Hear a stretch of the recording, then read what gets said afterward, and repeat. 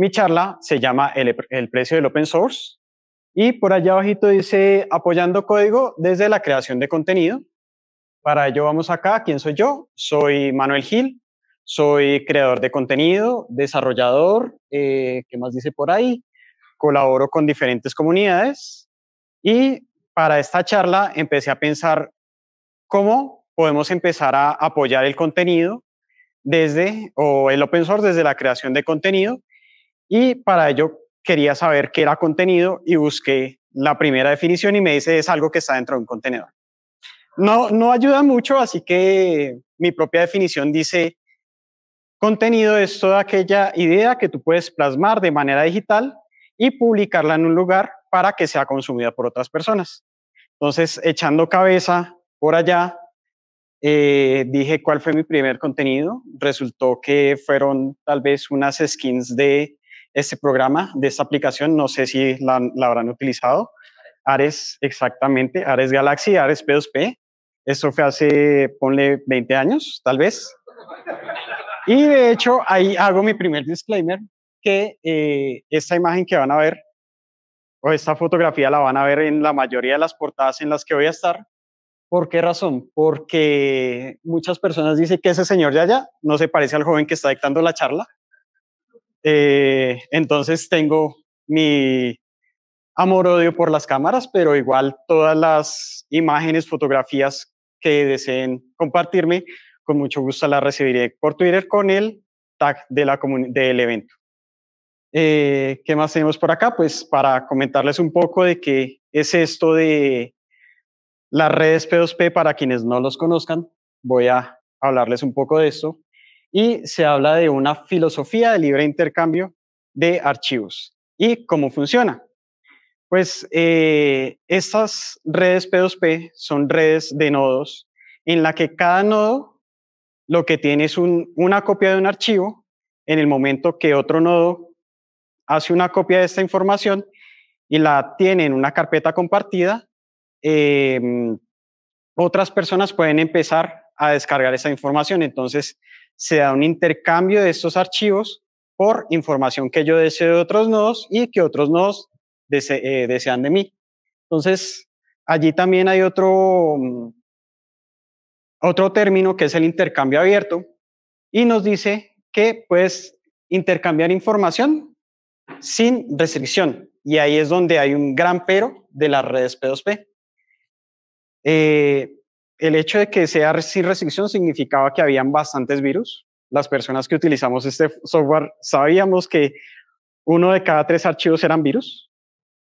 Y si no eran virus era otra cosa que no deseábamos. Había mucha publicidad, entre otras cosas que no quiero comentar. Eh, pero era una forma muy fácil de compartir información y había un tema de intercambio allí. Eh, aparte de eso, pues también hice otras contribuciones que eran skins de un programa, un reproductor llamado Winamp, que pues algunos tal vez lo conocen, otras personas no. ¿Por qué no lo coloqué dentro de mis primeras contribuciones? Porque mm, dentro de mi definición de contenido no la publiqué en un lugar donde pueda ser consumida por otras personas, pero si a alguien le interesa, con mucho gusto les puedo compartir estas skins y las skins de, de estos otros programas, entre otras cosas que hice. Eh, todo esto lo hice porque era un joven con mucho tiempo y bastante, eh, no sé cómo decirlo, curioso. Y eh, de hecho, bueno, hay varias anécdotas ahí al respecto, pero también aquí estaría mi primera contribución en cuanto a código. Y mi primera contribución fue con un script de comandos de Windows. Entonces, vamos a que el open source o contribuir al open source no tiene que ser un tema complicado. Podemos hacerlo desde un script, desde una línea de comandos, puede ser Windows, Linux, el sistema operativo que deseamos, esa información se puede compartir. Y no solamente de esa manera contribuimos al open source, con esta, con esta clase de eventos, con charlas, meetups, eh, foros, artículos, hay muchas maneras de contribuir al open source. Entonces, ¿qué fue lo que hice? Una herramienta global esto de una herramienta global es porque primero estaba en inglés, no el mejor inglés del mundo, pero era fácil de consumir. Eh, ¿Qué intenté hacer? Intenté solucionar una tarea que era cotidiana. Trabajé durante varios años en soporte, soporte para Windows específicamente, y eso me llevó a darme cuenta que había una tarea repetitiva que nosotros siempre estábamos haciendo en soporte. Esta tarea repetitiva eh, la hacían mis compañeros de soporte, la hacían otras personas de soporte, y lo que dije es, la documentación existe, es documentación de Windows, es documentación de Microsoft. Aparte de, que la documentación existe, existían líneas de comandos y era muy fácil convertir eso a un script. Solamente que no había una persona que se había tomado el tiempo de hacer eso. Así que dije, bueno, yo tengo el tiempo, trabajo en soporte, pero eso no significa que no tenga tiempo libre después de mi trabajo y puedo hacerlo. Además, las personas dicen que no se puede, pues hagámoslo. Y eh, muchas personas pueden decir, pero realmente eso es una contribución. Como dije, exactamente, es muy fácil contribuir de cualquier manera, no solamente con un script, sino también con charlas y muchas otras cosas. ¿Y dónde podemos contribuir? Esta contribución, la primera vez que la hice, la hice para el año 2015, más o menos en agosto, que es cuando se realizó el, el, lanzamiento del preview de Windows 10. Así que fue un boom porque le ayuda a muchas personas que querían migrar de su licencia anterior a Windows 10 y por eso fue que tuvo tanto auge y la compartí en un foro, que de hecho Microsoft lo que hace es que cada 10 años está deprecando sus productos antiguos y hace unos cuantos años fue deprecado este foro, así que no podemos encontrar la contribución. Sin embargo, la pasé a, GitHub antes de, eso. De hecho, antes de que Microsoft comprara GitHub, la había pasado. Y por ahí podría decir la anécdota de estoy huyendo de, de Microsoft, pero igual vuelvo a caer en Microsoft. Eh, de todo esto que aprendí, aprendí que una de las cosas más importantes es la comunidad. Y yo con este desarrollo no me no generé una comunidad, sino me apoyé en la misma comunidad de Microsoft. Entonces ellos mismos fueron los que se encargaron de distribuir esta herramienta, de ayudarle bastante a su crecimiento. Tuvo eh, más de 500 mil descargas en el foro ya como les digo, no, no puedo acceder a esa métrica, tal vez con, un, con una máquina del tiempo, que de hecho hay una página que me permite, pero no es lo mismo. ¿Y en qué se convirtió? En esta herramienta Reset Windows Update Tool, eh, que es una solución de fácil para problemas de Windows Update y no solamente soluciona problemas de Windows Update, igual sigue siendo un batch por detrás, simplemente hice un wrapper en C++ y eh, si desean, pues pueden ingresar a la página y allí van a encontrar más información. ¿Qué es lo que hago actualmente? No he podido por cuestiones de tiempo seguir eh, alimentando la herramienta. De hecho, me gustaría hacer un refactor y borrar todas esas malas prácticas que tenía cuando empecé y decir, bueno, lo que no sirvió, no sirvió y lo que sirve, bienvenido sea. Pero pues igual mi labor se convierte en algo que me gusta mucho esa palabra de allí, alfabetización. Y es que todo lo que nosotros hacemos, muy seguramente una persona que tiene un nivel bajo de conocimiento o tal vez no tiene un conocimiento técnico, necesita saber cuál es el proceso que debe realizar para utilizar nuestro software o lo que nosotros hayamos desarrollado. Entonces, muchas veces me preguntan en foros, me preguntan en, los mismos issues de, GitHub, eh, ¿cómo puedo solucionar mi problema? Creo una wiki, pero con la wiki no basta. De hecho, tengo que seguir alimentándola. Así que simplemente les digo, mira, puedes hacer esto, esto, esto y esto, que todo viene de una documentación grande de Microsoft. Entonces simplemente es, si conozco cómo hacerlo y las personas que me están preguntando son personas no técnicas, porque esta herramienta resultó ser muy útil para personas no técnicas que tienen problemas con su equipo de casa, simplemente les digo, mira, está en este lado específico de la wiki lo que necesitas, pero también puedes probar esta opción, esta opción, esta opción, y siempre me baso en los mismos foros que hace la comunidad de Microsoft.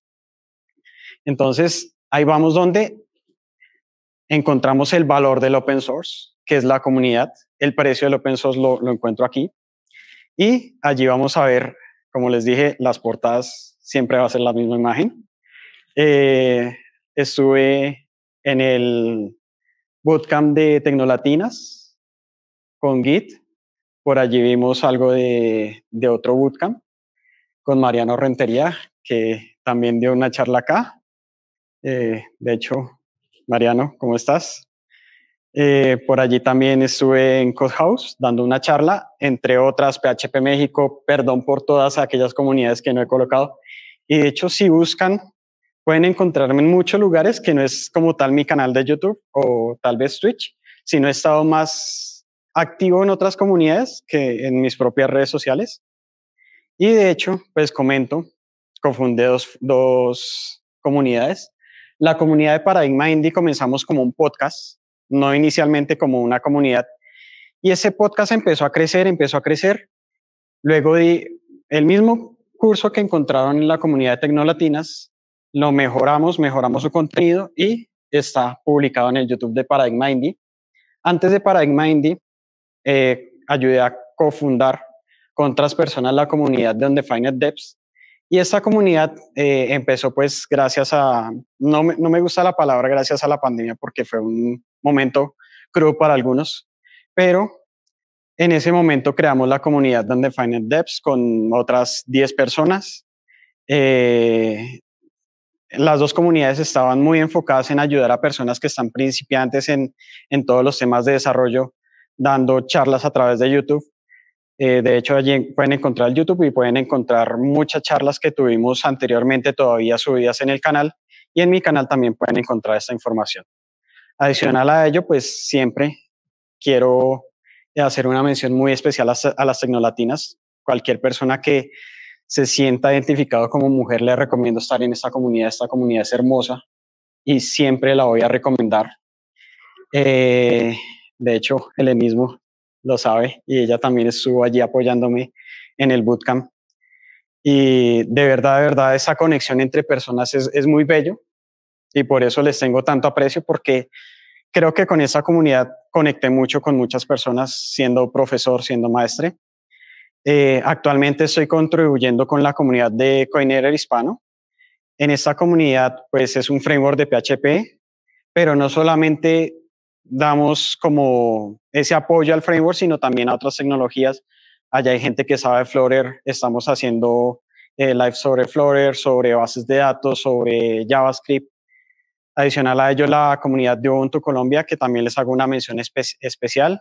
Eh, la comunidad de Ubuntu, de Ubuntu para mí es una de las comunidades más grandes que generan apoyo hacia el open source en todos los sentidos. De hecho, ellos les mandan a decir eh, un recado. Están cordialmente invitados al Festival Latinoamericano de Instalación de Software Libre que se dará en Colombia el próximo año, más o menos para el mes de abril, pero igual pueden encontrar más información en las redes sociales de Ubuntu Colombia. Igual, todo, todo esto queda en las diapositivas. Sé que las diapositivas las van a dejar en el sitio de, de COS, entonces también pueden acceder a ellas más adelante. Eh, como siempre, la comunidad de Moxila, que está Moxila México, está Moxila Colombia, está Moxila Hispano. De hecho, allí dejé eh, un lugar donde pueden encontrar todos los grupos alrededor de Moxila y pueden unirse a los mismos. Eh, recomendación pues México, eh, y la contribución a, la documentación que es bastante importante. Eso también es, es contribuir al open source. Y por último, quería hablar de este muchacho, Sebastián Noguera. Sebastián Noguera es un chico de 14 años, vive en Venezuela y actualmente tiene un canal de YouTube donde no me lo van a creer, enseña Vue y también ha enseñado eh, CSS y enseña una cantidad de cosas. Él dice, empecé a los cinco años, esto lo tomé tal cual de, de la información del canal de YouTube. Empecé a los cinco años, a los seis ya me gustaba la programación, a los ocho estaba totalmente sumergido en el mundo. Hablar con él es una locura. Eh, ganó el tercer puesto, pues lo, acompañamos en la hackathon de, del año pasado, antepasado de Tomato Valley y Supercívicos. Tercer puesto, eso es impresionante. Se ganó la audiencia, es un muchacho espectacular. No coloco imágenes de él, pues obviamente requiero de permisos especiales. Igual sé que me están viendo, si me están viendo por allá, señor padre Kenny Noguera y Sebastián Noguera. Y también me dejó unas palabras para decirles.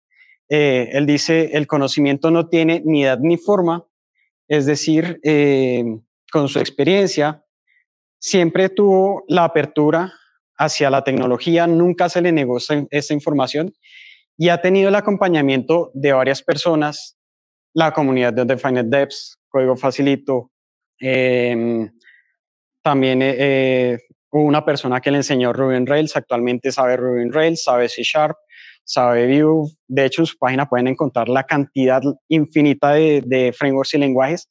Es impresionante lo que este chico sabe. agradece bastante el apoyo que le han dado. Nosotros agradecemos tenerte como persona aquí porque de verdad que nos enseñas muchísimo y pues nos dejó estas palabras. Le agradezco bastante. Es un muchacho impresionante y por eso lo quería traer acá. No es tan persona, pero sé que él más adelante me va a suplir aquí en este escenario y le agradezco muchísimo. Em, y ahí vamos como a la contribución o el apoyo a otros contribuidores. Eh, aquí hay, digamos que GitHub sacó su, su, programa de GitHub Sponsor.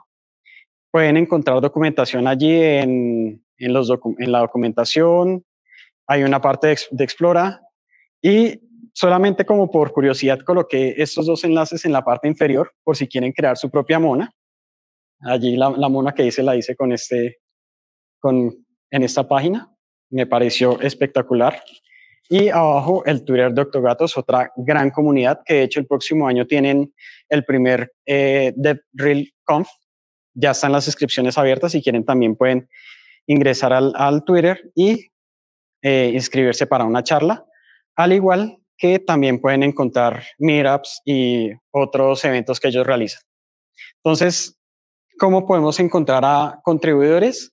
Está la página de Explora y allí podemos encontrar todas las personas que están dentro del programa de sponsors y no solamente personas, sino también proyectos, empresas están en esta página y contribuir no es difícil. Simplemente seleccionamos la persona. En este caso lo hice con mi perfil, desde un perfil secundario. Eh, dirán que que estoy haciendo trampa, pero pues no quería seleccionar un otro contribuyente porque después decían, ah, tienes preferencia, pero no.